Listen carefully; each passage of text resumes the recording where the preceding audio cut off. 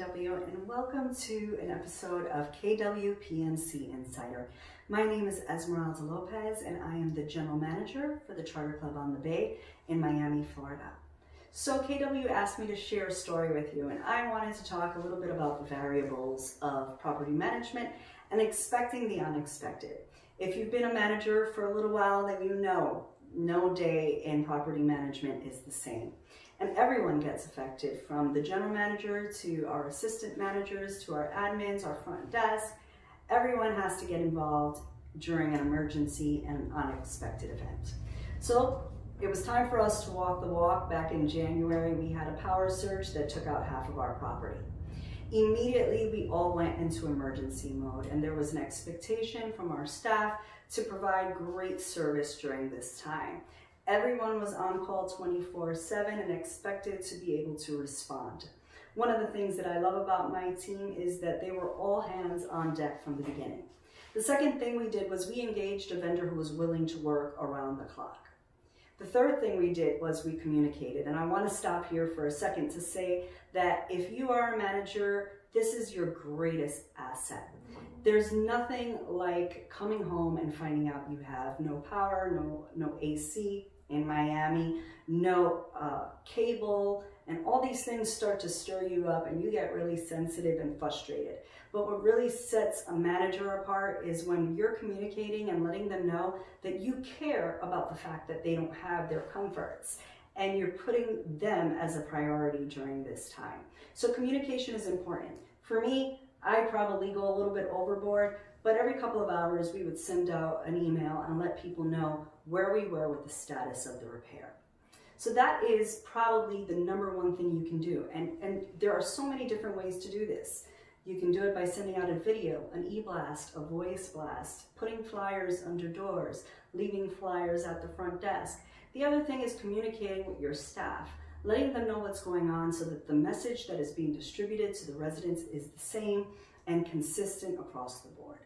The next communication is with your board of directors. You need to have your board of directors involved and they need to feel comforted in knowing that you are on top of the situation. So communicate with them regularly. If they're not the kind of board that is on site and getting involved with the problem, then make sure that they're aware of what's going on. The next thing, and this is a topic that I see come up as time and time again, that is insurance. When you suffer any sort of loss, you want to make sure to get as much insurance back as possible. You want to cover the cost. It makes us as a team at KW look great when you can go back to the board and say that you maximized on this bad situation and turned it around for good.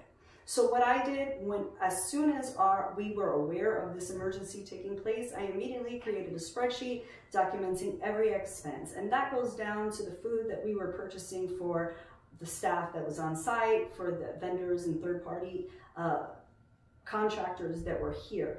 Uh, we claimed everything. We had police on site, we claimed that. We claimed overtime for our staff. And guess what, guys? We got it all back. So there's no greater feeling than being able to go to the board and say, yes, we had this horrible event, we suffered a lot of damages, but guess what? Besides the deductible, you've recouped everything. It makes your team look great. So the last thing that I would say is super important is closing out your project. Once everything was back up and running, we sent out communication again and let everybody know, here's what to expect. And we turned the situation into something positive. With us, we had a switchgear that needed to be replaced. It was a project that had been delayed for a very long time. And because of this power surge, we were able to complete that project. So when we responded to residents, we didn't just announce that we had the power surge, but we announced that we took this horrible situation where they lost power and we made it so that now they have less of a likelihood to lose electricity in the future with this new panel.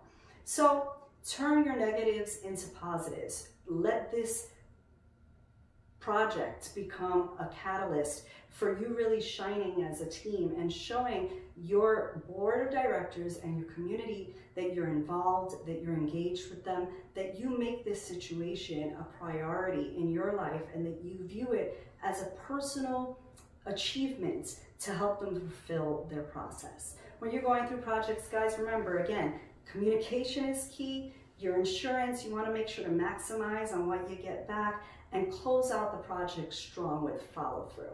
Thank you so much for allowing me to be a part of this process with you today and being part of the KWPMC Insider. And if you have any questions, feel free to reach out to me and email me. Uh, my email is esmeraldaL at kwpmc.com. Thank you so much and have a great day.